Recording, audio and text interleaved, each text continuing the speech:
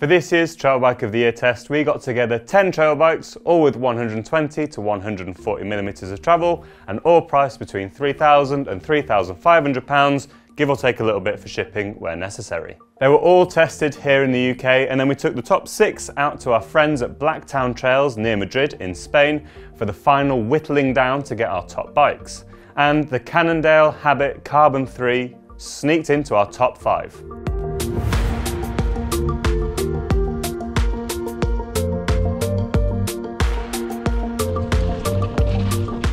This is my seventh year of being involved in Trail Bike of the Year, and every year the bikes just get better and better, as you'd kind of hope. If you're not familiar with the way we review bikes here, I'm going to talk a bit about the bike, then we're going to go into the frame, the kit, and then we're going to talk about how the bike actually rides on the trail.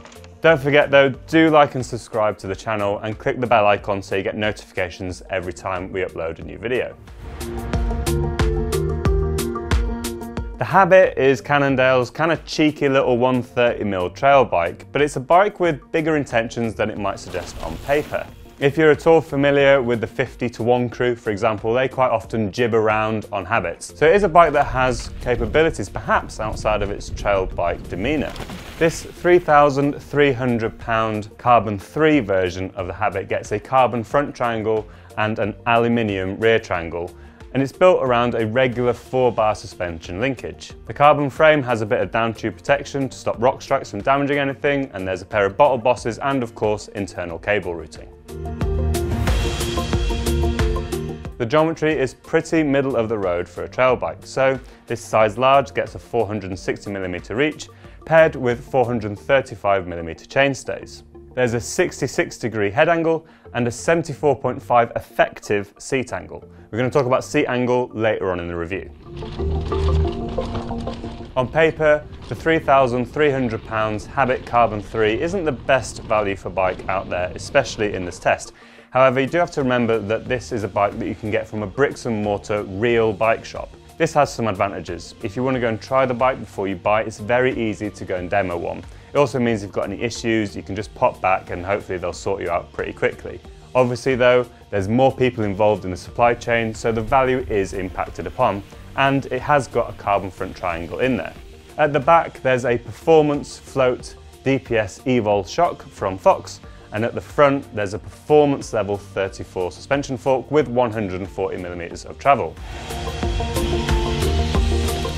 The drivetrain comes from SRAM, there's an NX level cassette and shifter and a GX derailleur, and this is mated with a Truvativ stylo crank. Truvativ is just another bit of the SRAM family. SRAM also provide the brakes, and with these it's a pair of Guide Rs. So the Guide is the precursor to the G2, which is the newest version of their trail brake. The R is one of the more basic versions of the Guide with a little bit less power than some of the fancier ones and less adjustment too.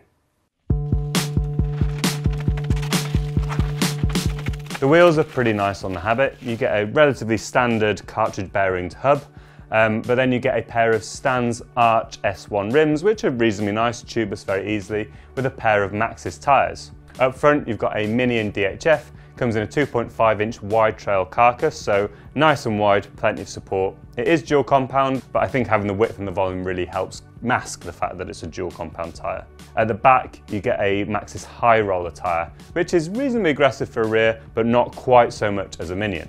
Finishing kit largely comes from Cannondale. You get their up-down dropper.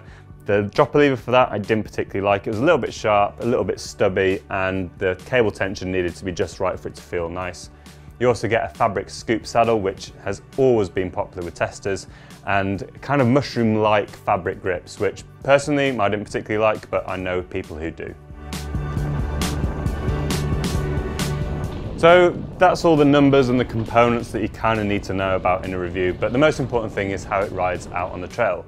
And as we've found in the past with the Cannondale Habit, and as you might expect from a bike that's popular with those guys at the 50 to 1 crew, it's loads of fun. Climbing on the Habit is okay. It's not the best climber by far, it's not the zippiest, but it's certainly far from incompetent. It's not too bobby, but I did use a compression lever on the shock now and again, especially for longer drags.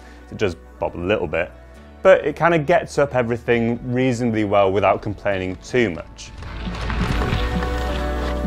The 74.5 degree seat angle isn't exactly steep, but it's not too slack. That said, it's got reasonably long seat tubes, so I had the dropper post pretty slammed in there. Some of our taller testers in the past have had to pull the seat post out a little bit from the frame.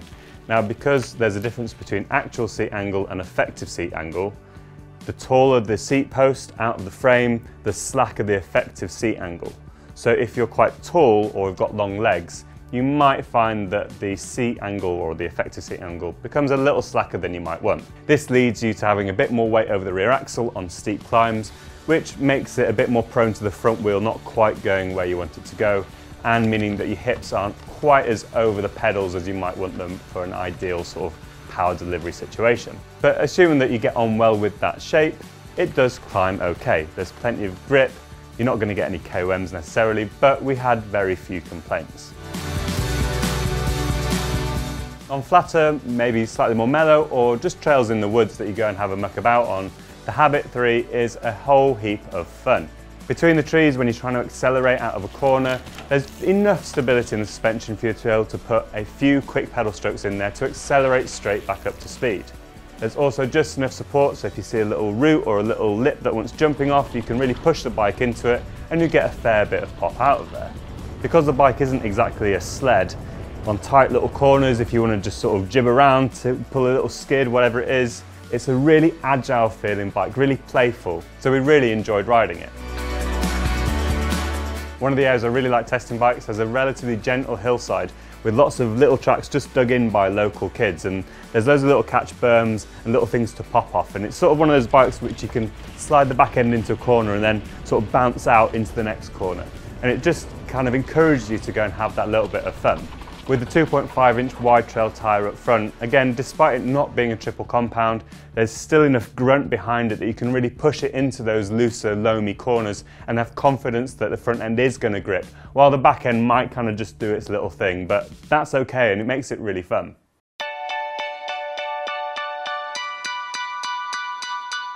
While the chunky tyre does give you that sense of the bike being reasonably well grounded and very composed and grippy in most situations, you can get the habit a little bit out of shape if you start pushing it as far as it maybe encourages you to try to now and again. One of the tracks I test on is a little downhill track at the Forest of Dean. It's called Corkscrew. And there's some off-camber rooty bits, there's a fair number of drops and steps. And if you're really pushing it down there, compared to some of the other bikes in this test, you could start to feel the limitations of the Habit 3 down there. It only has 130 mm of travel at the back. It doesn't have that super bottomless feel that some of the bikes have. And while it is progressive, it's maybe not the most composed when you start really slamming the back wheel into the ground. Also, the 34 fork up front does have that little bit of twang that comes from its narrower stanchions. In addition to those forks twanging a little bit, the guide brakes don't have the bite of some of the more powerful models out there, and that 480mm seat tube does make its presence felt when you're going down something real steep, especially if there's a few drops, because it's kind of prone to giving you a little buck up the backside. If your riding mates do have enduro bikes or slightly more aggressive trail bikes, and you're trying to keep up with them, you might find that the bike is a little bit compromised in some situations.